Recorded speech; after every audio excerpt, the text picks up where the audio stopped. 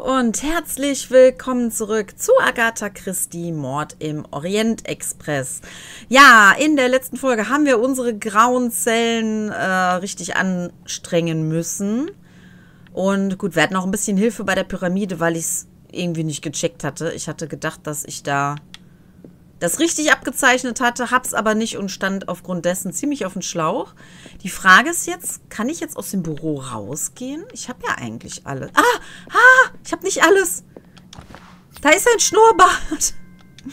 Ey, gerade mal 13 von 40. Die gute Nachricht, sie ist aus Gold. Ja, die schlechte Nachricht ist, ich habe nicht so viele bisher gefunden. Ich habe hier noch nicht alles erledigt. Nein, du hast alles erledigt verschlossen. Was soll ich denn hier nur machen? Hä? Ich habe doch soweit alles erledigt. Durchsuche das Büro.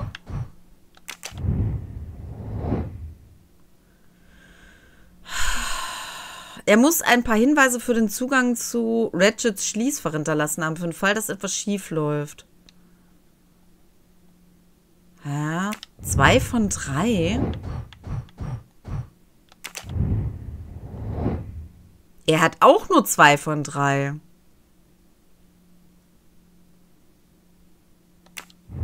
Oh, das ist nicht euer Ernst. Bei jedem fehlt noch ein Hinweis? Ich dachte, wir können jetzt zur Bank spazieren. Leute. Aber mit dem Buch ist irgendwas noch nicht ganz in Ordnung, ne?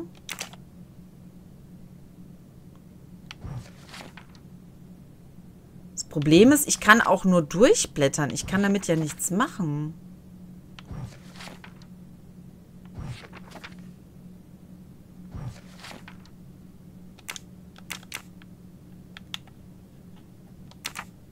So, ich kann damit nichts machen.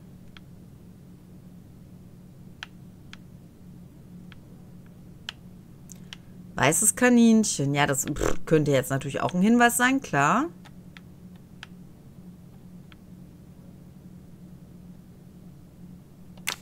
Was soll ich denn dann... Die anderen Sachen sind ja alle grau. Also die habe ich ja auch soweit erledigt. Deswegen verstehe ich jetzt gerade nicht.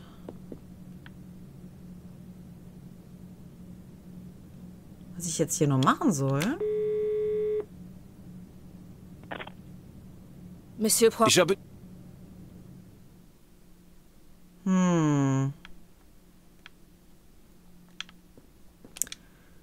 Hier habe ich ja eigentlich auch alles erledigt, abgesehen von dem Buch, okay? Äh, beziehungsweise, da habe ich auch alles erledigt in dem Buch.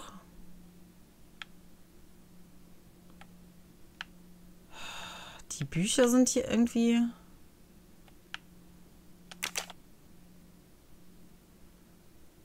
Drei, drei. Ich schreibe mir das von... Habe ich das von dem selber nochmal rausgeschrieben? Ich schreibe mal Buch alt. Haben wir dann 3-3. 3-3. Mm. Und dann, ah doch, hier 9. 3, 3, 9. 6.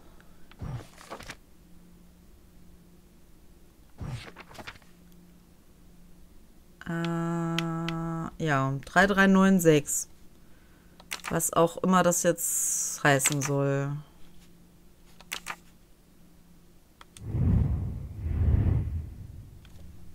Mit dem Schlüssel kann ich logischerweise auch nichts machen. Das haben wir erledigt, das haben wir erledigt, das haben wir erledigt, das haben wir erledigt. Da bin ich mir jetzt nicht sicher, was das jetzt... Ob das jetzt irgendeine Bewandtnis hat?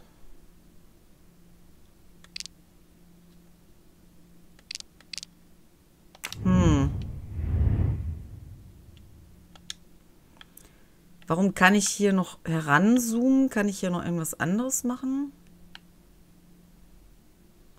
Das war nur für einen Pfeil, ne?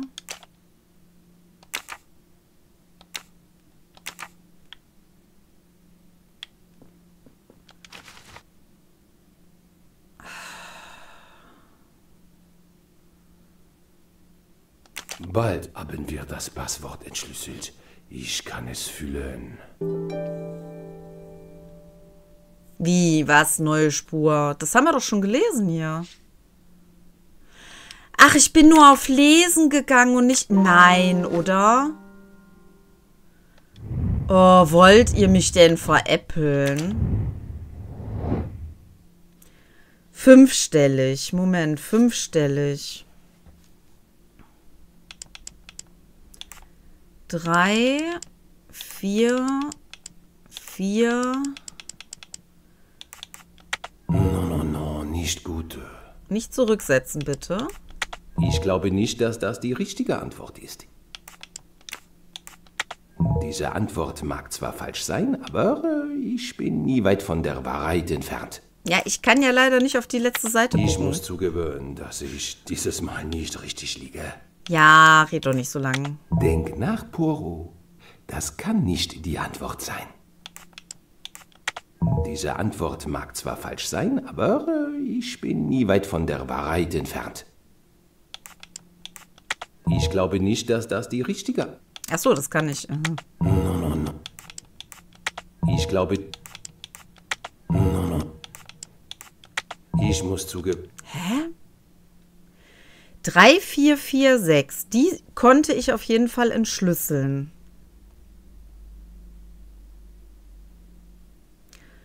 Einzige, was jetzt noch so lang ist wie das hier, ist die Kontonummer. Und sonst haben wir gar nichts, was so lang ist wie das hier.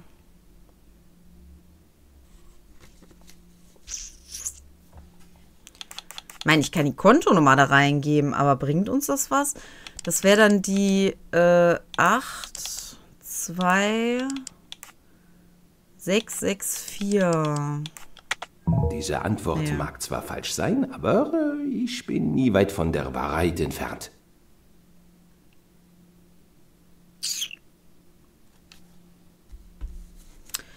Also, das muss mit dem Buch zusammenhängen.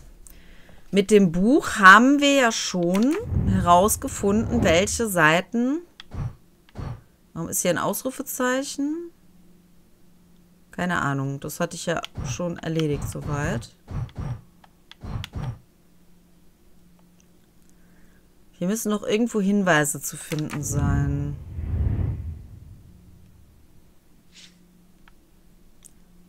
Boah. Oder wenn ich das gemacht habe, sagt er dann erst was bei dem Buch. Kann das sein? Nö.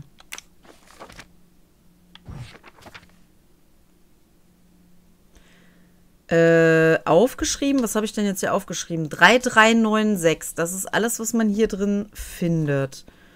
Und in dem anderen Buch äh, haben wir die 60334962. Das wäre aber viel zu lange. Wir brauchen eine fünfstellige. 3, 3.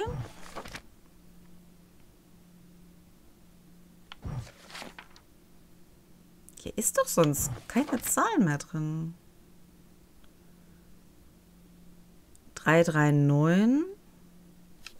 Wo habe ich jetzt die Nummer stehen hier? 339.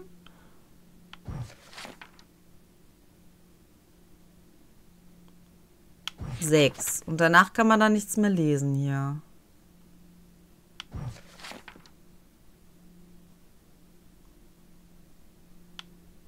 Aber ich habe ja jetzt auch alle ausprobiert, die da auf der Seite drin. Ich verstehe es wirklich nicht.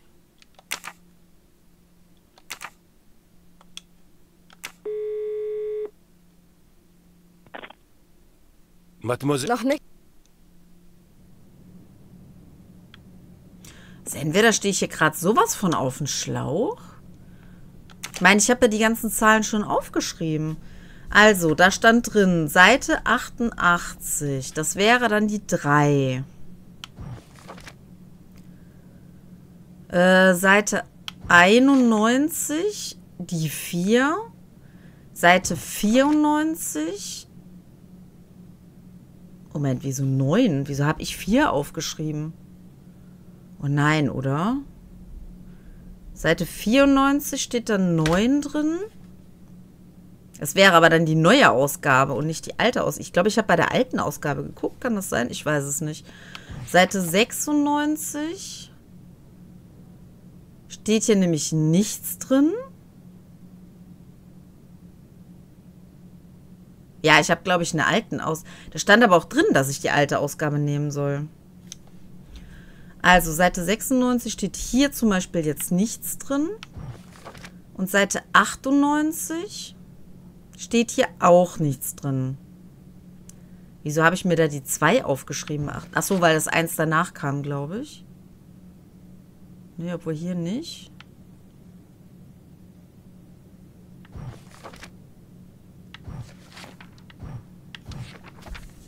Moment. oh, ist das heute kompliziert. Ich schreibe mir das nochmal eben komplett von vorne auf. Also bei Seite 87, da haben wir bei dem neuen die, nee, die 60, nicht die 6. Äh, dann bei 88 haben wir die 3.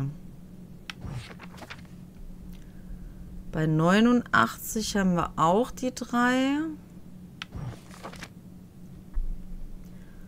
Bei 91 haben wir die 4.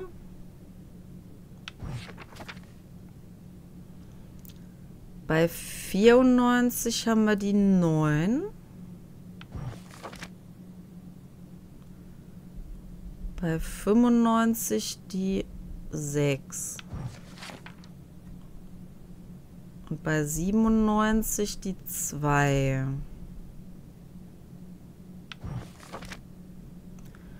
Und sonst habe ich hier gar nichts mehr in der Version. Aber steht hier irgendwo, welche Edition das ist? Nee, ne? Aber ich gehe mal davon aus, dass das die neue Version ist. Monsieur. Ich habe. So. Das sind alles alte Bücher. Hier steht leider nichts drin, aber ich gehe mal davon aus, dass das die alte Version ist. Moment, wir lesen uns den Brief am besten nochmal eben durch. Da stand drin. Bestätigen Sie den Termin. Bringen Sie mir 50 Bündel. Sehen Sie in der alten Ausgabe von 1865 auf den Seiten 88, 91, 94, 96 und 98 nach. Das habe ich hier richtig aufgeschrieben.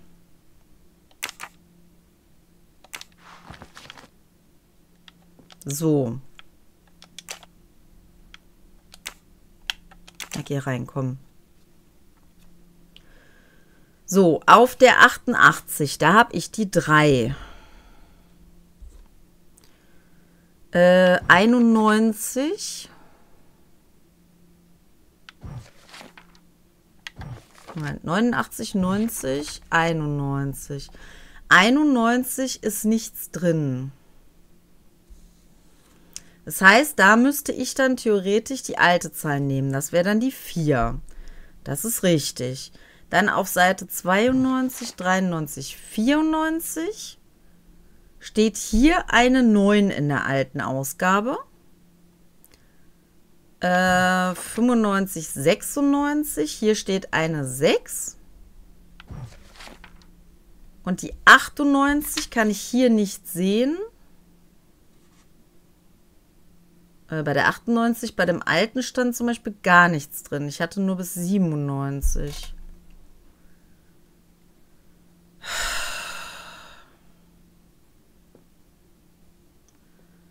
kannst weniger nehmen.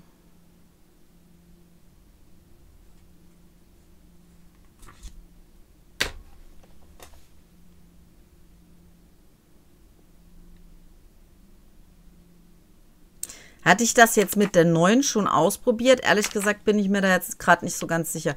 Ich probiere das jetzt einmal noch mit der neuen aus. Ansonsten... Äh, nee, Moment. Äh, der ist auch offen.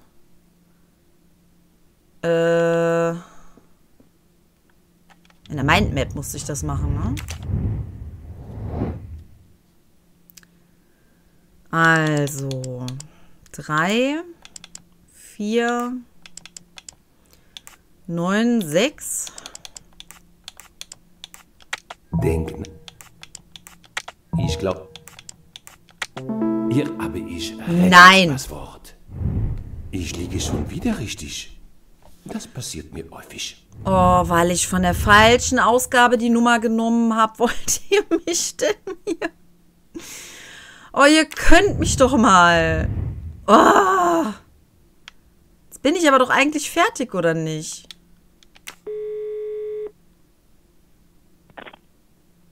Ich denke, ich habe das Passwort für Regits Schließfach gefunden.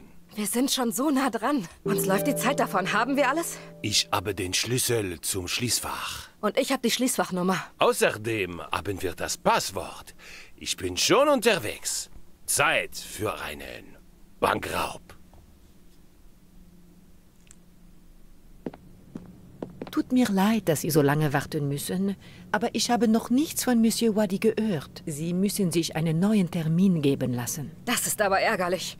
Jetzt muss ich den Termin verschieben. In der Tat, ich. Ich hoffe, ich konnte Ihnen trotzdem weiterhelfen. Sie haben ja keine Ahnung.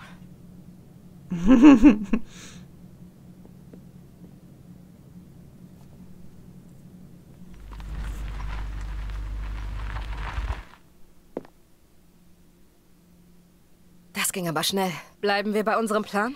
Oui, ich bin Monsieur Regit, aber dank der Geheimhaltungspolitik der Bank wird wohl niemand nachfragen. Genau. Die Kunden der Bank genießen absolute Anonymität. Die letzte Schweizer Bank ihrer Art.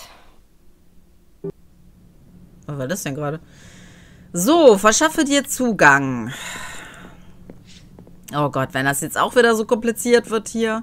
Muss ich da mit ihr wieder sprechen? Ja, ne? Madame, ich habe immer noch nichts von Monsieur Wadi gehört. Nun ja, wir werden ohne ihn auskommen müssen. Jetzt, wo mein Bekannter eingetroffen ist. Wir wollen sein Schließfach öffnen. Und äh, die Zeit drängt. Ich hoffe doch, dass das kein Problem darstellt. Huh? Nein, gar kein Problem. Sie müssen mir nur Ihre Schließfachnummer sagen. 4346. Darf ich Ihren Schlüssel sehen? Wissen Sie noch Ihr Passwort? Oui, dürfte die Dame mich begleiten? Es müssen ihr natürlich keine Namen genannt werden. N natürlich. Ich öffne die Tür sofort. Bitte, gehen Sie die Treppe hinab. Der Wachmann wird Sie begleiten.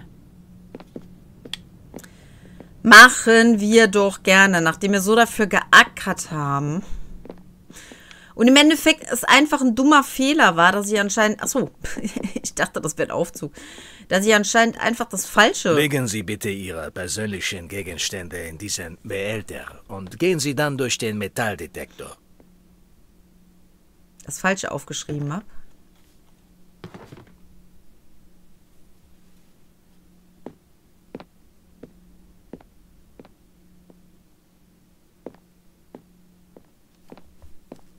Ich werde das Schließfach für Sie öffnen.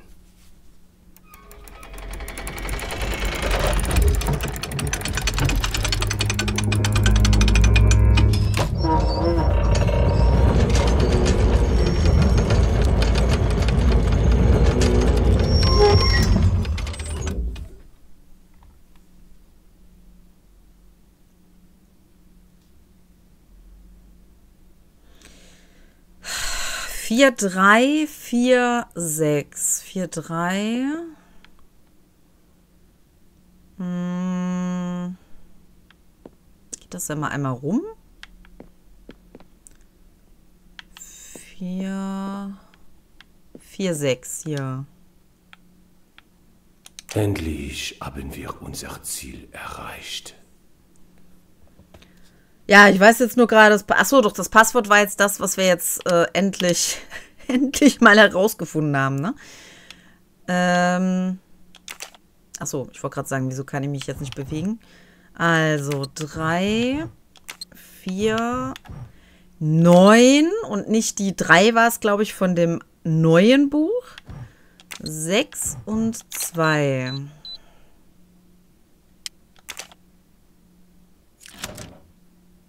Problem wird eher werden, dass ich zwei Schlüssel verwenden muss. Ich werde das Schließfach Ach so. jetzt öffnen, wenn Sie gestatten. Merci beaucoup, Monsieur. Ja, okay. Ich dachte, man muss selber zwei Schlüssel reintun.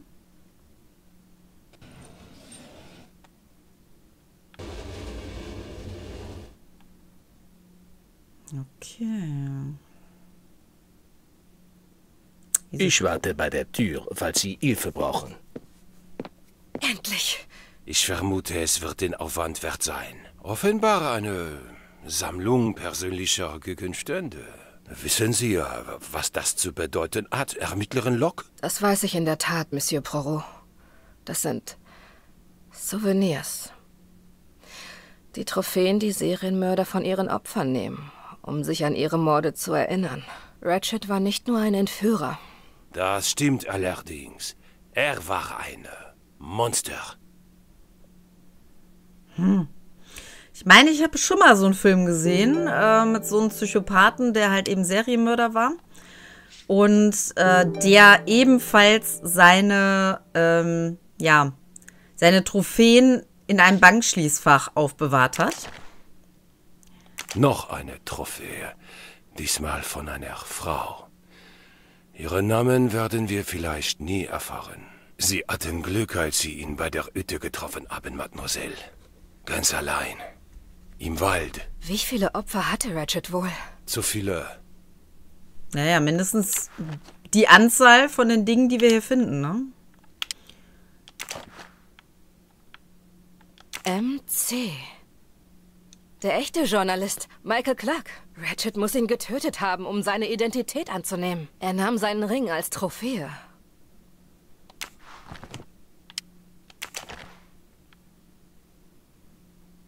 Noch ein Opfer. Ja, toll. Die sind dann nicht so, äh, nicht so bekannt und damit nicht so begehrt, dass man drüber sprechen kann, oder was? Nicht so wichtig, so. Das er wusste, dass die Seriennummern auf den Noten zurückverfolgt werden würden. Der Rest des Geldes aus der Armstrong-Entführung. Die Seriennummern passen.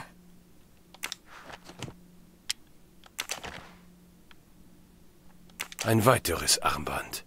Ein äh, weiteres Opfer. Noch eine Trophäe. Und dann ist da noch die, die wir schon gefunden haben. Suzannes rote Brille. Der linke. Das ist Ratchet. Wer auch immer mit ihm abgebildet ist. Ihre Freundschaft scheint vorbei zu sein. Die Figur. Die Haare.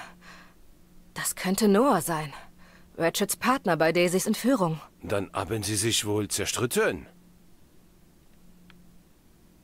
Okay.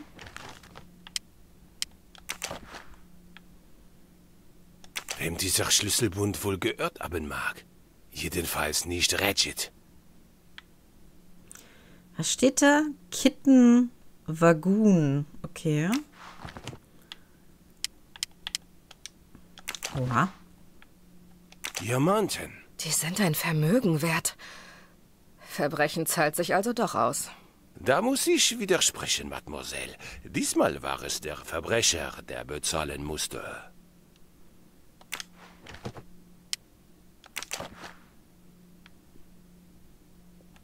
Jedes Mal, wenn Ratchet eine Seele auslöschte, gab es weitere, die unter dem Verlust leiden mussten.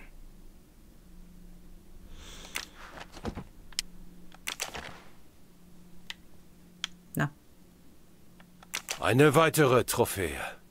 Wir werden vielleicht nie erfahren, wie viele Menschen er ermordet hat. Vier Jahre Ermittlung. Endlich vorbei. Jetzt habe ich den endgültigen Beweis dafür, dass Ratchet Daisys Entführer und Mörder war. Viel mehr als das. Sie haben dazu beigetragen, einen Serienmörder zu entlarven, der so viele Menschen getötet hat. Aber sogar mit diesem Wissen sind wir kein Stück näher dran, den Mord an Ratchet aufzuklären. Au contraire, Mademoiselle. Das Puzzle fügt sich langsam zusammen. Finden Sie nicht? Was? Das zerkratzte Foto. Das könnte Noah sein. Denken Sie, Noah hat Ratchet aus Rache getötet? Der Zug. Was ist mit dem Zug? Ich weiß, wie ein Mörder flüchten könnte, ohne Spuren im Schnee zu hinterlassen. Flügel? Camouflage. Die Trophäen. Poirot, Sie wissen aber schon, dass wir noch einen Zug erwischen müssen. Nicht nur den Zug, Ermittlerin Locke. Wir haben einen Mörder zu fangen.